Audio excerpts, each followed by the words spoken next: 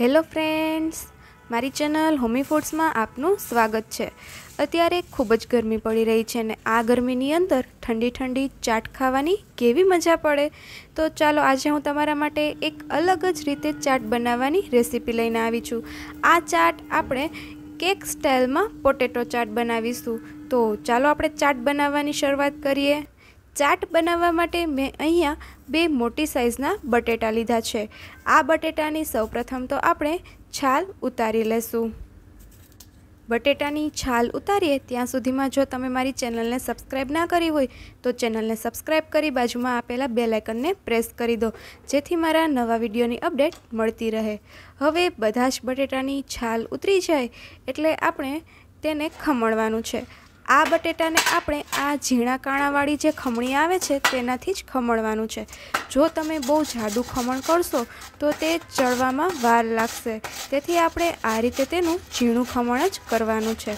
હવે થોડું એવું ખમણ થઈ જાય, એટલે આપણે તેને ઠંડા પાણીની અંદર ઉમેરી દેશું. જો આપણે બધું ખમણ એકી સાથે થવાની રાહ જોશું તો ખમણ કાળું પડી જશે. તેથી આ રીતે થોડું થોડું ખમણ કરી અને તેને પાણીમાં ઉમેરતું જવું. તો આ રીતે આપણે બંને બટેટાનું ખમણ કરી લેશું.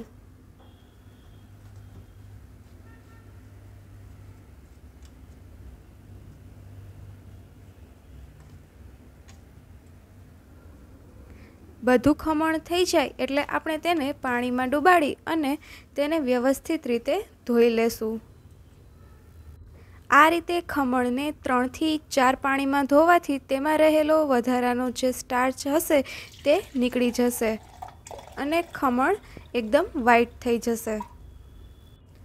ત્રણથી ચાર વખત ખમણ ધોવાઈ જાય ત્યારબાદ તે પાણીમાં ડૂબે તેટલું પાણી ભરી અને તેને પલાળીને સાઈડ ઉપર મૂકી દેશું. હવે આ ખમણને સાઈડ ઉપર મૂકી અને આપણે બીજા મસાલાની તૈયારી કરી લેશું. તેના માટે મેં અહીંયા એક બાઉલની અંદર થોડી ખારી સિંગ, પોતરા ઉખેડી અને તેના બે ફાડા કરીને લીધી છે. જો તમારી પાસે ખારી સિંગ ના હોય તો તમે સિંગના દાણા શેકી અને તેના ફોતરા ઉખેડીને પણ લઈ શકો છો. હવે તેમાં સ્વાદ અનુસાર નમક, થોડી એવી ખાંડ ધાણા જીરું પાવડર, લાલ ચટણીનો પાવડર, લીંબુનો રસ એડ કરીશું અને તેમાં થોડું એવું તેલ પણ એડ કરી દેશું. અહીંયા તમે કાચા તેલની બદલે તેલ ગરમ કરીને પણ એડ કરી શકો છો. હવે આપણે આ બધા જ મસાલાને સારી રીતે હલાવીને સિંગમાં મિક્સ કરી દેશું. આ રીતે આપણી મસાલા સિંગ તૈયાર થઈ જશે.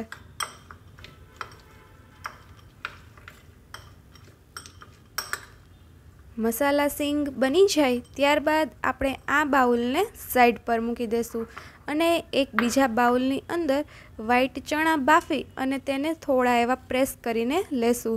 હવે તેમાં સ્વાદ અનુસાર નમક, મરી પાવડર અને લીંબુનો રસ એડ કરીશું. તમે વ્હાઈટ ચણાની બદલે બ્લેક ચણા પણ લઈ શકો છો. હવે આ બધા જ મસાલાને પણ આપણે ચમચી વડે હલાવીને ચણામાં સારી રીતે મિક્સ કરી દેશું. તમે ચણાને પ્રેસ કર્યા વગર પણ લઈ શકો છો, પણ ચણા પ્રેસ કરીને લેવાથી તેને ચાટમાં પાથરવામાં સરળતા રહેશે. તેથી મેં અહીંયા થોડા એવા ક્રસ્ડ કરી લીધા છે. હવે આ ચણાનો મસાલો તૈયાર થઈ જાય એટલે તેને પણ આપણે સાઈડ પર મૂકી દઈશું. હવે એક બીજા બાઉલની અંદર મેં હેંગડ કર્ડ લીધું છે. તેમાં થોડી એવી દળેલી ખાંડ ઉમેરીશું અને થોડું એવું નમક એડ કરીશું. આ કર્ડને આપણે થોડું સ્વીટ બનાવવાનું છે. તેથી તેમાં ખાંડ ઉમેરેલી છે. હવે આપણે તેની અંદર બાફેલા કોર્ન એડ કરીશું અને કેપ્સિકમના નાના નાના ટુકડા કરીને તેને પણ એડ કરી દેશું. હવે આ કેપ્સિકમ અને કોર્નને દહીંમાં સારી રીતે હલાવીને મિક્સ કરી દેશું. તમે કર્ડની બદલે મેયોનીઝ પણ લઈ શકો છો, પરંતુ આ કર્ડનો ટેસ્ટ ખૂબ જ સારો આવશે. હવે આપણું આ કડ પણ તૈયાર થઈ ચૂક્યું છે. હવે આપણે આ બધા જ મસાલાને સાઈડ પર મૂકી દઈશું અને ફરીથી આપણે બટેટા લઈ લેશું. હવે આપણે એક બીજો બાઉલ લેશું. આ બાઉલની અંદર આપણે જે બટેટાનું ખમણ કરીને રાખ્યું હતું તે ઉમેરવાનું છે.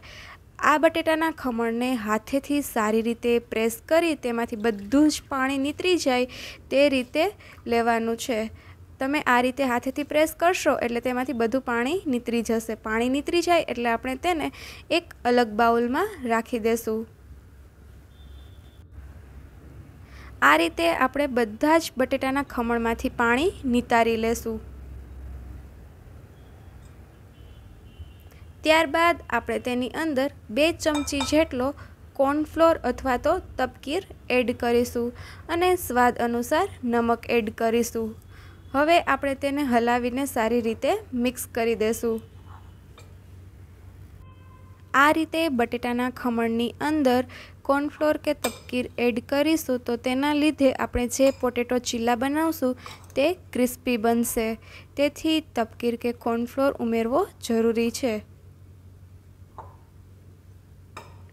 જો તમને જરૂર લાગે તો તમે થોડો એવો વધારે પણ કોર્નફ્લોર પાછળથી એડ કરી શકો છો. તો આપણું આ મિશ્રણ છે તે તૈયાર થઈ ચૂક્યું છે. હવે આપણે ગેસ ઉપર એક નોનસ્ટિકની પેન મૂકીશું અને તેની ઉપર તેલ લગાવી લેશું. આ રીતે નીચે તેલ લગાવવાથી આપણે જે પોટેટો ચીલ્લા બનાવશું તે નીચે ચીપકશે નહીં. હવે આપણે પોટેટો ખમણ લઈ અને તેને આ રીતે સારી રીતે સ્પ્રેડ કરી લેશું. તેની ઉપર ફરીથી થોડું તેલ લગાવીશું અને તેને પાકવા દેશું. આપણે આ પોટેટો ચીલાને ધીમીથી મધ્યમ આંચ ઉપર જ ચડવા દેવાનું છે. તેની ઉપરની સાઈડનો કલર ચેન્જ થઈ જાય, ત્યારબાદ આપણે તેની સાઈડ પલટી લેશું અને ફરીથી તેને ચડવા દેશું. આ સમયે પણ આપણે ધીમીથી મધ્યમ આંચ ઉપર જ બટેટું પકવવાનું છે, જેથી કરીને બધું બટેટું સરસ રીતે ચડી જાય. બટેટું બંને બાજુથી સરસ રીતે ચડી જાય ત્યારબાદ ગેસની ફ્લેમ ફૂલ કરી અને બંને સાઈડને આપણે ક્રિસ્પી કરી લેશું. આપણે ગોલ્ડન બ્રાઉન કલરની થાય ત્યાં સુધી બંને સાઈડ શેકવાની છે. તો આપણું આ એક પોટેટો ચીલ્લો તૈયાર છે. આ રીતે આપણે બાકીના બીજા બધા જ ચિલ્લા બનાવીને તૈયાર કરી લેશું અને તેને સાઈડ પર મૂકી દેશું. હવે આપણા બધા જ પોટેટો ચીલ્લા બની જાય ત્યારબાદ આપણે એક પ્લેટની અંદર એક પોટેટાના લેયરને મૂકીશું અને તેની ઉપર ખજૂર આંબલીની ચટણી લગાવી લેશું. આ ચાટની અંદર જે ખજૂર આંબલીની ચટણી અને ગ્રીન ચટણીનો ઉપયોગ કરવામાં આવ્યો છે, તેની રેસીપીની લિંક પણ ડિસ્ક્રિપ્શન બોક્સમાં આપેલી છે. તમે ઈચ્છો તો તમે તેમાંથી જોઈ શકો છો.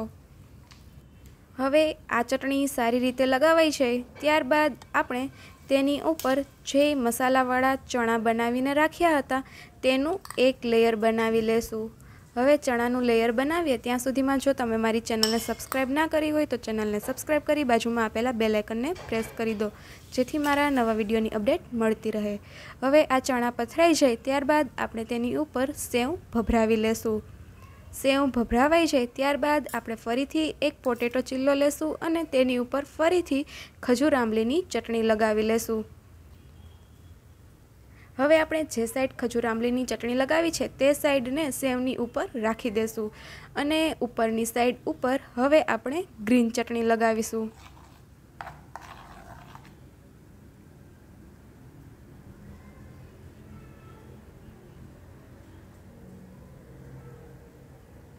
ગ્રીન ચટણી સારી રીતે લગાવાઈ છે. ત્યારબાદ આપણે તેની ઉપર જે હંગડ કડનું મિશ્રણ બનાવ્યું હતું, તેનો એક લેયર બનાવી લેશું.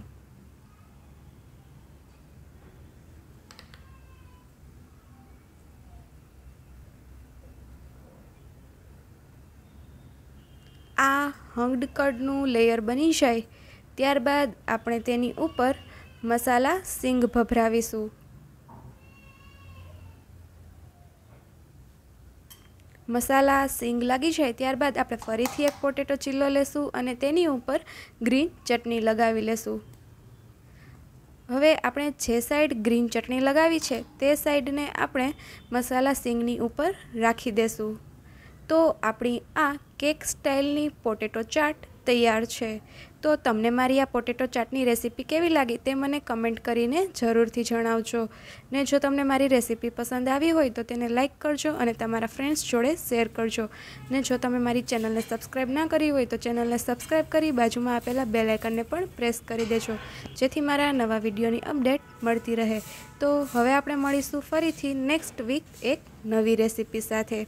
Thank you.